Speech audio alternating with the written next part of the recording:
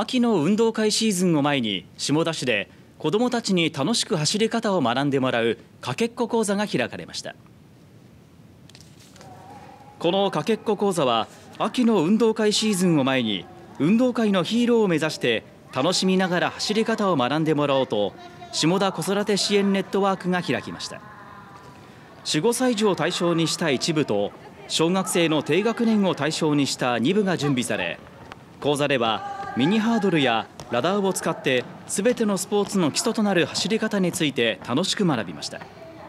参加した子どもたちは飛んだり跳ねたりたくさん汗をかきながら体を動かしていました。楽しかった。楽しかった。今日走るの速くなりましたか？なりました